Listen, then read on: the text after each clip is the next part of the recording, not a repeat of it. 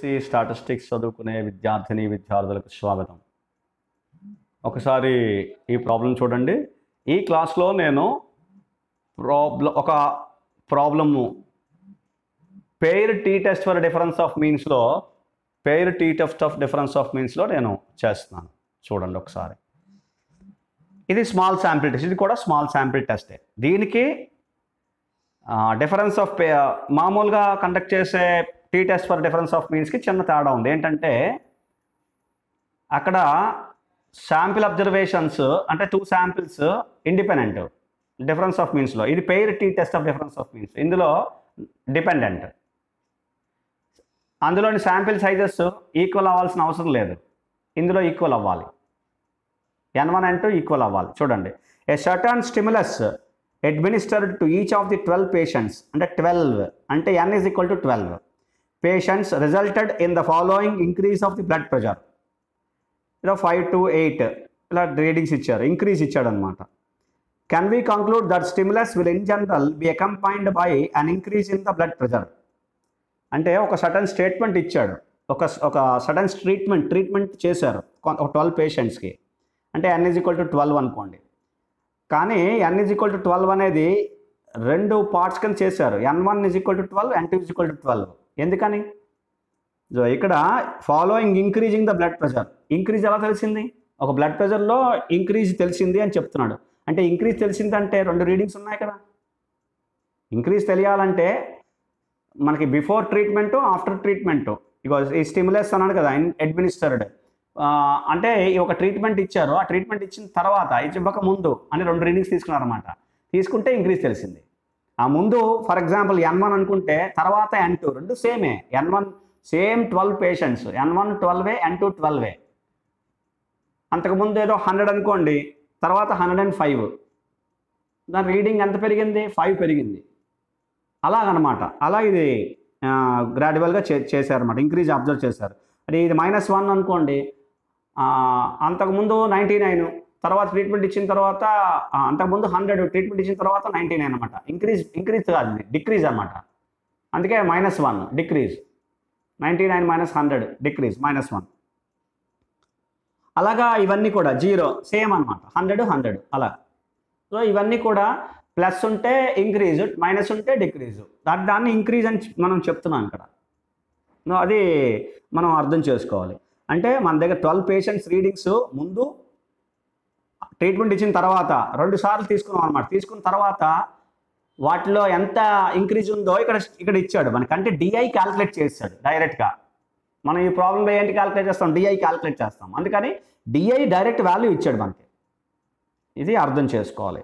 ఇప్పుడు ఏం చేయాలి? Can be conclude that stimulates will in general be combined by an increase in the blood pressure అని మనకి అవునా కాదా? ఈ స్టిములస్ ఒక చిన్న స్ట్రేట్ ట్రీట్మెంట్ ఇచ్చారు. స్టిములస్ విల్ ఇన్ జనరల్ అది బ్లడ్ ప్రెషర్ పెరగడానికి ఉపయోగపడిందా అని క్వశ్చన్ క్వశ్చన్ ఇచ్చాడు. మనం టెస్ట్ చేయాలి. సో అర్థమైంది కదండి? అంటే ఇప్పుడు మనం డైరెక్ట్గా క్యాలిక్యులేషన్లోకి రండి. క్యాలిక్యులేషన్లో వస్తే n is equal to twelve అనేది తెలుసు మనకి. సిగ్మా నాట్ నోన్ అని తెలుసు. కాబట్టి ఇవి రెండింటిని కేసులు మనం డిస్కస్ చేయట్లేదు. ఇందులో ఎందుకంటే pair t test for difference of మీన్స్లో ఒకటే కేసు ఉంది. సిగ్మా నాట్ నోన్ కేసే సిగ్మా నోన్ కేసు ఉంటుంది ఇంకా. డిఐ డిఐ స్క్వేర్ మనం క్యాలిక్యులేట్ చేయాలి. డిఐ ఇచ్చాడు మనకి. Five two eight minus one values ఇచ్చాడు ఇక్కడ. తీసుకున్నాం ఇక్కడ. తర్వాత డిఐ స్క్వేర్ మనం క్యాలిక్యులేట్ చేయాలి. ఫైవ్ స్క్వేర్ టూ స్క్వేర్ అలాగే అన్నిటికీ సిక్స్ స్క్వేర్ వరకు ఇవన్నీ క్యాలిక్యులేట్ చేయాలి. చేసిన తర్వాత సమ్మేషన్ డిఐకి సమ్మే టోటల్ చేయాలి. సమ్మే డిఐ స్క్వేర్కి టోటల్ చేయాలి. అవి summation d i summation d i square అవుతాయి. ఎంత కొంత వాల్యూస్ వచ్చాయి చూడండి. Thirty one one eighty five so ఇప్పుడు um, ప్రాబ్లంలోకి వెళ్ళండి. ప్రాబ్లంలో మనం ఏం ఫార్ములా క్యాలిక్యులేట్ చేయాలంటే డి బార్ చేయాలి ఎస్ చేయాలి. డి బార్ ఫార్ములా ఏంటి? One by n summation d i అంటే డికి మీన్ అనుకోండి. డీకి mean d bar one by n summation d i summation d i ఎంత? Thirty one divided by n అంత twelve so ఇది two point five eight వచ్చింది. ఇప్పుడు ఏంటి క్యాలిక్యులేట్ చేయాలి? ఎస్ క్యాలిక్యులేట్ చేయాలి.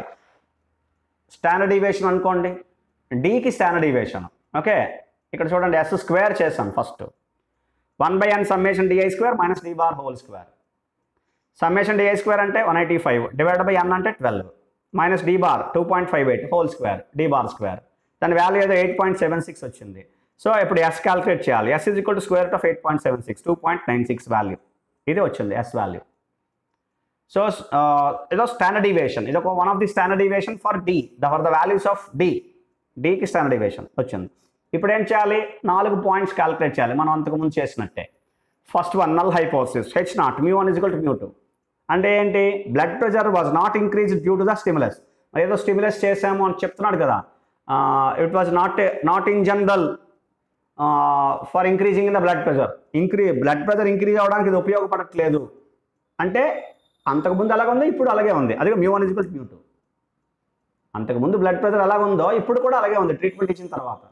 Mu one is equal to mu two అది మనకు మన మన కన్సిడరేషన్ అది మనం కన్సిడర్ చేస్తున్నాం. అంతేకాని తగ్గింది పెరిగింది అని కాదు.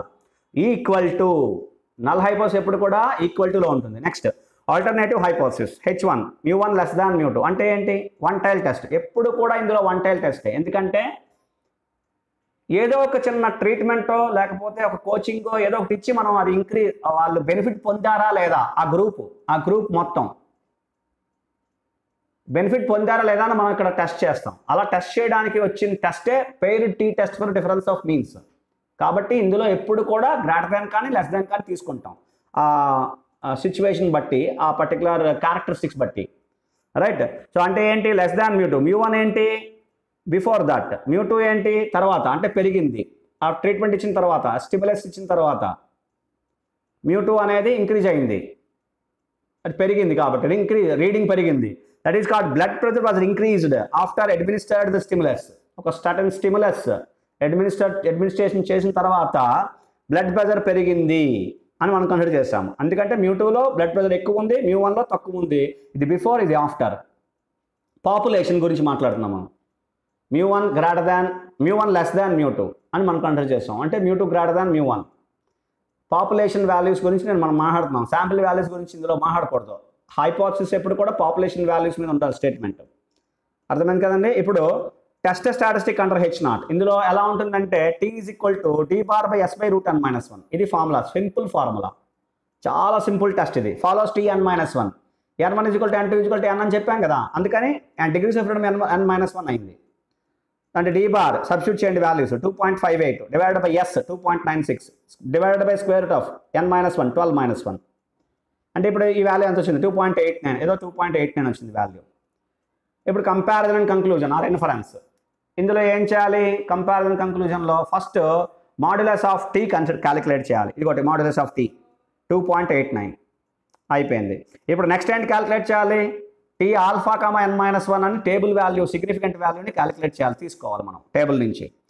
ఎలా తీసుకోవాలి? Alpha five percent level of significance n n minus one n minus one అంటే twelve minus one eleven five percent comma eleven t five percent level of significance eleven degrees of freedom ఇప్పుడు ఇంకోటి కావాలి. ఏంటది? One టైలా two టైలా ఈ t test for pair t test for difference of means ఎప్పుడు కూడా alternative one tail test either greater than or less than it is one tail there for for one tail test the value is one point seven nine six five percent level eleven degrees of freedom one tail test the value is from the student t tables it is one point seven nine six ఈ రెండు compare చేయండి ఇప్పుడు.